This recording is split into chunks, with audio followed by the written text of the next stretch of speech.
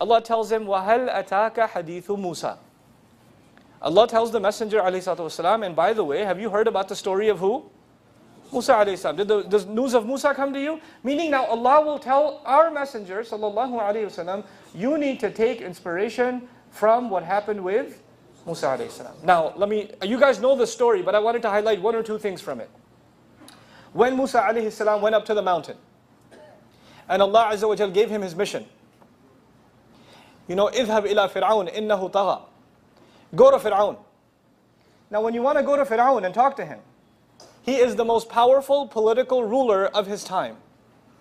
Many people don't know he actually was so powerful and so influential that other kingdoms in the world, they used to send their princes and their royal family to get an education in Egypt. Because he was also considered the elite university of his time. Musa alayhi salam is supposed to go back into Egypt where he's wanted for what? He's wanted for murder. He's supposed to make it all the way through Egypt and walk into the walk all the way up to the most secure building in the entire land of Egypt. And he's supposed to talk to the security guards who are looking to kill him. In The chiefs are making a scheme to kill you. They're not interested in arresting him. They are interested in what? Killing him. And he's supposed to walk up to the most secure building in all of Egypt and arguably the most heavily guarded building in the entire world at the time.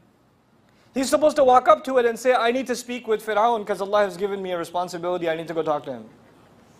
And he's supposed to expect that the doors will open wide and they'll say, please sir, would you like some orange juice too? And you know, walk him right in and give him a special VIP meeting with the king and he's going to stand face to face, and then when he sees him, he's going to insult him and tell him, "You're not Rabb. I have the real. I come from the real, the real, the true Rabb. You know what you say is a lie." And he's supposed to insult him to his face. That's what he's supposed to do. This sound like an easy mission or a difficult mission? this is what you call mission impossible. Okay, this is the real mission impossible. Now, when you are given an impossible mission, when you are given a very difficult task, you should ask for resources. If Musa alayhi salam is going to be, he has the job of talking to the king, maybe he should ask for a helicopter. So he could be dropped right on top. Maybe he should ask for an army so he can defeat Fir'aun's army and then don't talk to Fir'aun. Maybe he should ask for a lot of money, a lot of resources, maybe a disguise, something. What is he, because he's supposed to ask Allah for help. Because he's given the most difficult mission ever given until that time. What does he ask Allah? قال رب اشرح لي صدري Rabbi Shahli Sadri. He says, My Rabb, make my chest, expand my chest for me. What's the first thing he asked? He didn't ask for money, he didn't ask for power, he didn't ask for media resources, he didn't ask for political position. You know, the Muslims say today, man, if we had power, our situation would be different. If we had the money, our situation would be different. If we owned the news outlets, our situation would be different. Let me tell you something. The prophets know what to ask. They know what to ask. And they had to deal with media, they had to deal with political corruption, they had to deal with military might. And what's the first thing they asked for? Rabbi Shahli Sadri. Expand my chest. Now what in the world does that mean? You know what that means? When somebody has inshirah al-sadr, when their chest is open, you know what that means? They're not bothered. They're calm. They're at peace. They're not depressed. They're not sad. They're not worried. They're not nervous. They're not afraid. They're not negative. They're not pessimistic. They're not hopeless. As a matter of fact, someone who has inshirah al-sadr, when their chest is opened up, then when you go meet with them, you become calm too. You become positive too. You become happy too. The mission that Allah has given him is so hard. He should be complaining about that every day. Man, our mission is so hard. Subhanallah, every day I try and things get over more difficult. They get even harder like you Muslims do today. SubhanAllah, every day there's a new fitna. There's something new happening in the news. First there was this, then there was that, then there was that. There was the shootings in Paris, then there was the shootings in Texas, and there was this in the news and that, and then, oh my God, things are getting so bad. And we're constantly negative. And we don't, we forget that the first thing to ask Allah is what? Rabbi shrah sadri. Come, open up my chest. We have to understand that the mission Allah gave us, He knows which mission is possible and which mission is what? Impossible. And this is a matter of iman. When we, we believe, Allah, الَّذِينَ يُؤْمِنُونَ ghaib. We believe in the unseen. When we see the reality of the money and the propaganda and the media and the corruption and the continued spilled blood and all of it, we start thinking there's no way to win. But you know what? That's when you're tested. Because then you have to believe in what? The unseen. That's when you have to believe the unseen. And where does belief in the unseen rest? In the chest. When you see the reality, you get depressed and your heart becomes tight. That's why he said in a different surah, وَيَضِيقُ صَدْرِي My chest becomes tight. Here he asks, رَبِّ شْرَحْ لِي صَدْرِي Open up my chest. Make me positive. I have to believe that the help of Allah will come. I have to believe. I, it's a matter of my iman. I have to believe that all the media in the world will be crushed. All of it will be crushed by the help of Allah. I have to believe that. My chest has, and I have to be calm about it. I have to be very relaxed, and I don't think this, I'm crazy. This is actually very logical, because when the help of Allah comes, nothing can stop it. إِن يَنصُرْكُمُ اللَّهُ فَلَا غَالِبَ لَكُمْ If Allah were to aid you, there's no possibility of anybody overcoming you. Anybody overcoming you. And the first condition of that is the believer has to believe that the help of Allah will come. The believer has to be positive. You know, I'll give you a scenario. I'll, make, I'll, I'll show you a movie scene, not a real movie. Relax, okay? Astaghfirullah, I'm leaving. No, relax. I'll make up a movie for you. So on the one hand, there's an army, very powerful, millions of soldiers. And on the other hand, there's one guy. And this whole army approaches this. How many guys? One. He doesn't even have a weapon. He doesn't even have a weapon. And he's smiling. And he comes to the general of the army and he says, if you know what's good for you, you will turn around and run away. And the entire army is laughing, like, this guy. We could crush him with one horse. What's he talking about? Except they don't know that he controls airstrikes. and they're watching him from satellite. And they can drop bombs on the entire army right there. Laser precise. They have no idea. Why is this guy not nervous? He doesn't have to have an army behind him because he has an army where? Above. You can't even see it. Well, you know what? We don't have, we don't have to have an army behind us. Where's our army? وَمَا يَعْلَمُ جُنُودَ رَبِّكَ إِلَّا هُوَ Nobody knows the armies of Allah except Him. When you stand by the word of Allah, then the forces of Allah are behind you. وَلِلَّهِ جُنُودُ السَّمَاوَاتِ وَالْأَرْضِ وَكَانَ اللَّهُ عَلِيمًا حَكِيمًا why would you think you're alone? That's a matter of iman. That's a matter, that's the kind of belief we're supposed to have. That's how positive we're supposed to be, that we can battle anything. We can withstand any pressure, any propaganda, any media. There's nothing. All of that is nothing to Allah. Now, Musa alayhi salam says, Rabbi shrah li sadri, and the second thing he asks is, وَيَسِّرْ لِي amri. Make my mission easy for me. Who makes the mission easy? Which means by definition, by default, some of you are technical background, the default position is a mission is hard. And the only one who can make it easy is Allah Azza wa Jal. And He only makes it easy when first of all you have an open chest. You're positive. And you're a source of positivity for others. Then He acknowledges His own weaknesses. That's the third step. You have to acknowledge where you're missing. What He was missing was sometimes He couldn't speak clearly. So even if you're carrying the word of Allah, your, the word of Allah is perfect, but I'm not perfect. The word of Allah is perfect, but my da'wah is not perfect. And I have to acknowledge what about my da'wah and what about my speech and what about my ability is not perfect.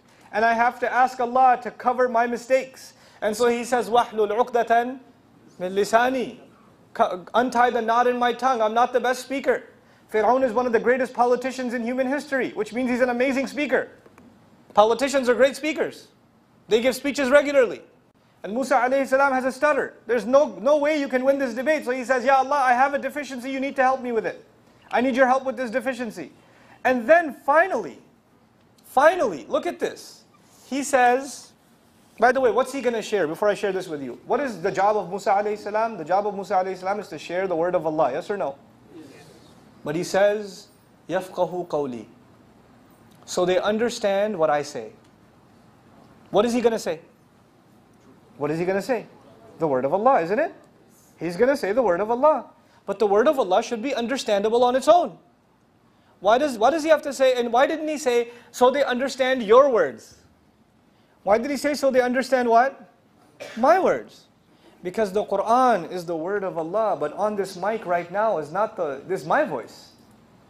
That's my voice. I have to try to explain it. I have to try to express it. And even though the word of Allah is perfect, the way I explain it will be what? Imperfect. And I have to try to make sure people understand. My primary concern is I have to help people understand. So I have to know who I'm talking to. I have to understand what kind of words they can understand. What they find difficult, what they find easy. I, don't, I cannot make things complicated for them because I'm concerned about them understanding. In other words, the job of a da'i, the job of someone who carries the word of Allah, his final concern, first you understand where your weaknesses are, then you understand how do you make sure your audience will what? Understand. You don't just start talking, you, I read something in a book and I start talking about it and I don't care if it was, it was complicated for me, but I enjoyed it. So now I talk in complicated language, nobody understands what I'm saying, but who cares? No, no, no, no, no. I have to speak in the language that people will actually understand. That is the sunnah of Musa alayhi salam. And when that happens, everything will work out. I'll fast forward in the story of Musa alayhi salam. I'll just share one thing with you about Musa alayhi salam. Then I'll give you the example of Rasulullah sallallahu alayhi wasallam. I want you to think about this. Who was supposed to battle with Musa? You know when he threw the staff and the hand? Who was supposed to battle with him? The magicians. You guys know that, yeah? So in Surah Al-Shu'ara, Allah tells us that the magicians were heavily financed. They were gathered from all different cities, the best of them. وَابْعَثْ فِي الْمَدَائِنِ حَاشِرِينَ Gather all the best magicians from all the cities. Fine. Then they were made popular. In other words, Fir'aun was already humiliated. Everybody knew that Fir'aun was defeated by Musa alayhi salam. So now Fir'aun looked very bad. So he wanted to make the magicians look good. Okay? So he spread, spent a lot of money and a lot of campaign telling the people that the heroes of Egypt are who? The magicians. And they will save our nation from this threat of Islam. They will pr protect our nation. So you, all the people need to be fans of who? The magicians. So much so that there's an ayah in Surah Al-Shu'ara that people started thinking, لَعَلَّنَا نَتَّبِعُ السَّحَرَ إِن كَانُوا هُمُ الْغَالِبِينَ Maybe we'll end up following the magicians if they win. In other words, maybe the government will not even belong to Fir'aun. Maybe the government will go to the magicians. That's how popular they became. That's how popular he made them. And then on top of all of this, people did not want to, you know, Yom Zina, the day on which the battle was supposed to happen. How do you make sure everybody comes out and watches? Because he wants to make sure the entire country watches this. He needs to make sure everybody sees that Musa has been crushed. So what does he do? We find in the Quran, وَقِيلَ لِلنَّاسِ هَلْ أَنْتُمْ مُجْتَمِعُونَ People were told, are you coming or what? People were forced to come out to watch this battle. And everybody was told by the military and by the campaign that your heroes, the one that you will listen to is who? The magicians. I'll fast forward. Musa alayhi salam throws the staff. It eats all of their ropes and their rods. And who falls in sajda? Magicians. And then magicians get up from sajda and they say, Amanna bi Rabbil Alameen, Rabbi Musa wa Harun. We believe in the Rabb. We believe in the Rabb of Musa and Harun. Who paid for the stage? Who paid for all the audience to show up? Who paid for the campaign? Listen to them, listen to them, listen to them. Who spent hundreds of millions of dollars on the campaign so that they could have the biggest stage they ever had and then they could stand on that stage and Musa doesn't even have to do da'wah alayhi salam. They did the da'wah for him. Who paid for it? Hmm. Allah has a plan. You just have to have sharh al-sadr. Open up a chest. That's it. You could have argued 10 minutes before, so many resources, so much money, so much power. How is everybody going to hear the message of Islam? and just 10 minutes later, you see what Allah does. You understand? That's why we have Iman, that no matter how bad the resources look on the opposite side, we don't know how Allah can turn them around and make them in our favor. We don't know.